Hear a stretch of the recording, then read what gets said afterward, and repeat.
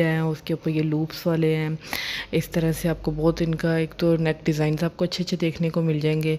ये देखिए रेड के ऊपर कितना प्यारा समोसा वर्क और, समोसा कट वर्क नेक पे यूज़ हुआ हुआ है।